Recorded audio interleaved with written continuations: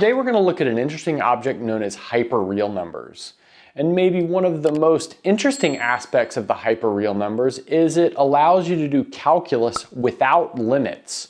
So you can define the derivative without using a limit. You can also define the integral without using a limit.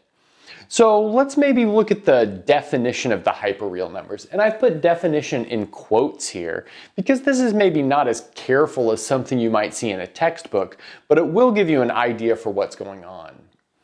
So the hyperreal numbers denoted by star r are real numbers together with two other types of objects. And that first type are infinitesimals and infinitesimals are smaller than any real number. And of course, by smaller, I mean in absolute value. And so that means if you have any positive real number x, so I mean any positive real number x, then we can find infinitesimals between 0 and x. Okay, and then we also have something called infinities or infinite numbers, and these are larger than any real numbers.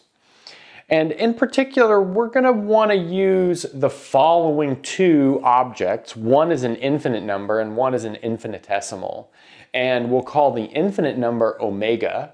And it is also the smallest infinite ordinal. And so what we have is that omega is bigger than x for all real numbers x. And then we'll define an infinitesimal out of that and we'll call that epsilon and that'll simply be 1 over omega. Now I'd like to point out that by this definition of epsilon, we have epsilon is bigger than 0, but it's less than 1 over n, and this is true for all natural numbers n. So of course, in the real numbers, there's nothing that you can fit in between 0 and 1 over n, for all natural numbers n, but in the hyperreal numbers, you can fit infinitesimals in that space. Okay, so let's take a little bit of a picture of what's going on here. So in this center piece right here, we have the real numbers. So that's just the standard real number line. And then if you take the entire real number line, you can squeeze that into what I'll call a neighborhood of zero in this kind of larger number line. So this larger number line involves all of the infinite numbers. So here we have omega, here we have 2 omega, 3 omega, and then back in this direction is minus omega, minus 2 omega, so on and so forth. And I said this includes all of the infinite numbers. In fact, it doesn't, because you can keep going higher from here, but we won't do that in this video. And then if you descend from the real numbers, so if you look at a neighborhood around zero of the real numbers, you can find all of the infinitesimal numbers.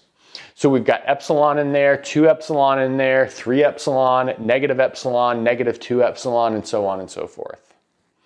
So now we'd like to look at a definition which will help us find derivatives using these hyperreal numbers. And this definition says that if x is a hyperreal number and it's finite, so if it's finite, it only has a real number part and an infinitesimal part. It does not have an infinite part. Then the standard part of x is the number, which is a real number that is closest to x. So let's look at a couple of examples, starting with a very simple one. So the standard part of 2 plus epsilon is simply equal to 2, because that's the closest real number. The standard part of 3 minus epsilon plus epsilon to the fourth power is equal to 3. That's because epsilon and epsilon to the fourth are both infinitesimals. And so the closest real number here would be 3. Okay, well let's look at a little bit more interesting of an example, and that would be the standard part of 1 over 1 plus epsilon. Great. So you might guess that that should just be equal to the number 1, but we need to show that carefully. So let's see how we might do that. I'm going to do this with an inequality. So let's take 1 over 1 plus epsilon. And let's notice that this is less than 1 over 1. And that's because 1 plus epsilon is larger than 1 because epsilon is larger than 0. So we've indeed made the denominator smaller in this hyperreal number world, which means we've made the whole thing bigger. Notice that's equal to the number 1. Now I'd like to multiply the numerator and the denominator here by 1 minus epsilon, and let's see what that'll give us. So now we'll have 1 minus epsilon in the numerator and 1 minus epsilon squared in the denominator. Now we're going to do another inequality here. And let's notice that this thing is larger than 1 minus epsilon and it's larger than 1 minus epsilon because its denominator is smaller. Here the denominator is 1, but here the denominator is 1 minus epsilon squared. So now what we'll do is take the standard part of all pieces of this inequality. Really, we just have to worry about the two ends and the center part, which is the part we're interested in. And we'll have the standard part of 1 minus epsilon, well that's just simply equal to 1, will be less than or equal to the standard part of 1 over 1 plus epsilon, which will indeed be less than or equal to the standard part of 1, which is simply 1. So we've pinned the standard part of 1 over 1 plus epsilon between 1 and 1, which means the standard part of this must be 1. So I'm kind of pulling a fast one on you because when we take the standard part, this strict inequality doesn't hold anymore. It turns into a non-strict inequality. But we're not going to go over why that is super carefully. Okay, so before we move on to using hyperreal numbers to take derivatives, let's go ahead and prove a very simple result involving hyperreal numbers. And this simple result is how the standard part operation interacts with maybe some standard operations on hyperreal numbers. In this case, we'll take multiplication. So let's look at our claim over here. If x and y are finite hyperreal numbers, then the standard part of x times y is the standard part of x times the standard part of y. So let's see how we could do this. So let's maybe set x equal to a plus something that I'll call epsilon naught. We don't know exactly which infinitesimal we need here. The infinitesimals we've looked at so far, this infinitesimal epsilon, but there are other infinitesimals. So I'll just call it epsilon naught. And a is a real number. So let's maybe write that down here. So a is a real number, and then epsilon naught is an infinitesimal. And now let's do something similar for y. So we'll have y equal to b plus epsilon 1. Again, we've got a real number plus an infinitesimal. Great. And we know that if we have a finite hyperreal number, we can always decompose it into a real part and an infinitesimal part. We just don't have an infinite part like we would in general. Okay, so now let's look at our standard part of x times y, which is equal to the standard part of a plus epsilon naught times b plus epsilon 1. But now if we multiply this out, we get the standard part of ab plus epsilon naught times b plus epsilon 1 times a plus epsilon naught times epsilon 1. But then an infinitesimal times any real number is always an infinitesimal, and the product of two infinitesimals is also an infinitesimal. So this tells us that this is an infinitesimal. Great. So that means we have a real part, this a times b plus an infinitesimal, that means that when taking the standard part of this, we just get a times b. But that's exactly the standard part of x times the standard part of y. Now before we move on to looking at the derivative, I'd like to recall the way that we can define the special number e inside of the real numbers. And what do we have? The number e is defined to be the limit as x goes to 0 of 1 plus x to the power of 1 over x. So there are many equivalent definitions of this number e, but this is definitely one of them. But the way we want to do this is to put this in terms of infinitesimals instead of in terms of limits. But if we're taking the limit as x goes to zero, we can just replace that x with an infinitesimal. And we can replace the limit with the standard part. And that's generally the idea here for how all of these things work. So this is what we'll take for our definition for e within the hyperreal numbers we'll take E to be equal to the standard part of 1 plus epsilon raised to the 1 over epsilon. But notice we could also rewrite that as of 1 plus 1 over omega raised to the omega power. And that's because E has an equivalent definition as the limit as x goes to infinity of 1 plus 1 over x raised to the x power. So let's see, this first way of taking the limit corresponds to this first standard part operation, and this second part corresponds to this second standard part operation. But for our purposes, we're gonna hang on to this first part. Okay, so that being said, let's look at how we could define the derivative. Let's first recall that the limit definition of the derivative is as follows we have f prime of x is equal to the limit as delta x goes to zero of f of x plus delta x minus f of x over delta x. But now instead of taking a limit as something goes to zero, we can replace those objects going to zero by an infinitesimal, and then we can replace the limit with a standard part. And that's exactly what we have up here. So we have f prime is equal to the standard part of f of x plus epsilon minus f of x over epsilon.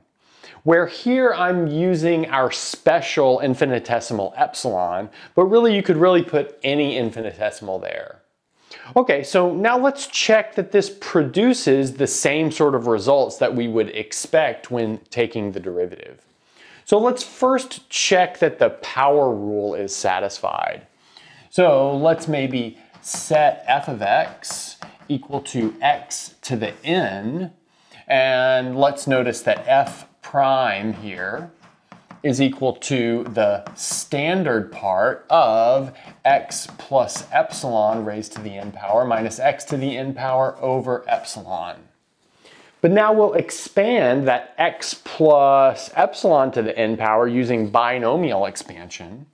And that's going to give us the standard part of x to the n, and then plus n times epsilon times x to the n minus 1, plus epsilon squared times a bunch of other stuff. And in fact, we don't really care what that other stuff is because it'll all like cancel out in the end. But that other stuff is related to the binomial expansion. Okay, and then we still have to subtract this x squared part, and then we'll put this all over epsilon. Great, and now let's notice that this x to the n cancels this x to the n, like that. And then we've got some epsilons that can cancel from the numerator to the denominator. And that'll in the end leave us with the standard part of n times x to the n minus 1 from that quotient plus epsilon times some other stuff left over, which is again related to that binomial expansion. But now let's notice that this is infinitesimal, which means that we end exactly with what we want. We have n times x to the n minus 1. Now we're gonna do one more example, but before we do, I'll leave you with a little bit of a homework exercise, which is to calculate the derivative of the square root function. So the derivative of the square root of x using this infinitesimal definition. And now we're going to look at our last example, which is taking the derivative of the function e to the x. So I've left this over here where we have our number e defined in terms of this standard part with infinitesimals, just so that we can recall that as we make our calculation. Okay, so I've set g of x equal to e to the x, and now we'll find g prime of x. So that's the standard part of e to the x plus epsilon minus e to the x over epsilon. Great. Now we're going to use exponent rules, which I guess I haven't proven work with the exponential function, but needless to say they do, to separate this out as e to the x times e to the epsilon. So that'll give us the standard part of e to the x times e to the epsilon minus 1 after factoring some stuff out all over epsilon. Okay, so that's starting to look good. But notice that we've got the product of two hyperreal numbers here in a standard part. So we can apply that claim that we had before and break it into the standard part of e to the x times the standard part of the rest. But let's maybe real quick assume that x is a real number, so the standard part of e to the x is also real, just for the sake of argument. So this is gonna give us e to the x, and then we'll have the standard part of what's left over in here. But now I'm gonna take this e to the epsilon and rewrite it using this over here. But let's notice that this power of epsilon here will cancel this 1 over epsilon here, giving us 1 plus epsilon minus 1 over epsilon. Great, so just to reiterate what happened, because it happened kind of quick, e to the epsilon turned into this 1 plus epsilon. Notice we're kind of missing a standard part here, but we factored it out and we combined it with this standard part here. But now let's notice that 1 minus 1 is 0. We have epsilon over epsilon, which is 1. The standard part of 1 is 1. So in the end, we have e to the x, which is as expected. And I think that's all we'll do today, but like I said before, you can do other things with calculus involving the hyperreal numbers, including defining integrals. Maybe post in the comments if you'd like to see a video on that. And that's a good place to stop. Thanks for watching and sticking around until the end of the video. And since you're here, don't forget to gently press that like button, subscribe, ring the bell, and select all notifications to never miss a video. If you want to get your name in the credits like you see here, access the live seminar series, review videos before release, and more, go to patreon.com slash michaelpennmath and become a Patreon member today. If you want full ad-free course content, subscribe to my second channel, Math Major. I've got courses on linear algebra, complex analysis, and proofwriting, among several others. And that's everything. Bye.